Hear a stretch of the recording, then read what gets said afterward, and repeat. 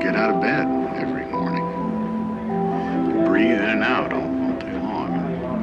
And after a while, I won't have to remind myself to get out of bed in the morning and breathe in and out. And then after a while, I,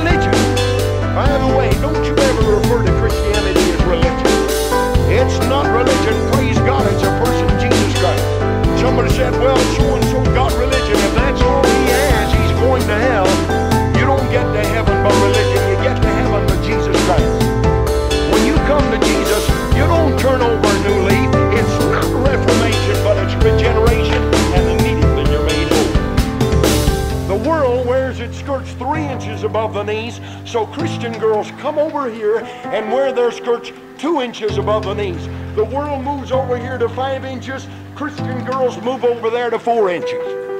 Where is the end? Where is the end? I am afraid that uh, the world has neutralized our testimony so you can't tell the difference from the world and the church. Someone said, well, you know, uh, you can't reach men preaching like you did uh, 20 years ago. You know how you reach men today? By preaching the same way Jesus Christ did 2,000 years ago.